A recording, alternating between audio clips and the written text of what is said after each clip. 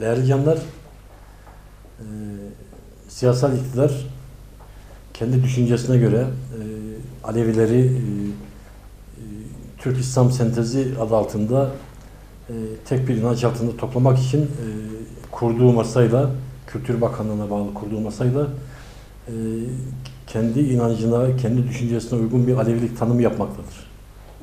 Oradaki oluşturduğu komisyonlarla da tüm inancımıza, cemevlerimize e, kayyum atamaktır bu yapılan çalışma.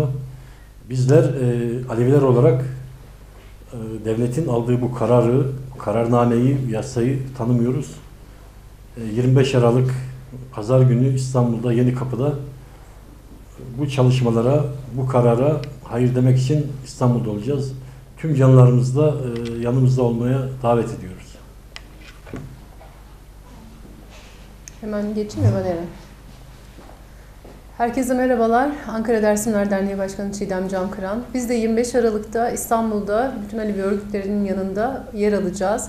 Yıllardır Alevileri öte, ötekileştiren bu siyaset yine tekrar kendi Aleviliğini yaratmak istiyor. Biz de bu as- asimilasyona karşı eşit yurttaşlık talebiyle İstanbul'da olacağız örgütümüzde ve üyelerimizde.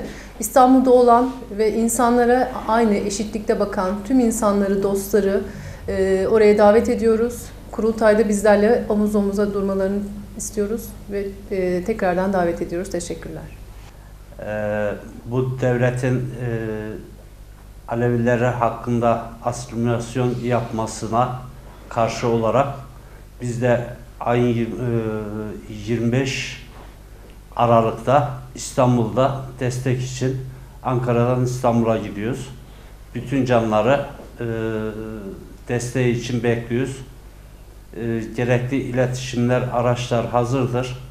Gelmeleri bizim için çok önemlidir. Herkese teşekkür ederim. AKP hükümetinin Alevlere giydirmek istediği elbiseyi giymeyeceğiz.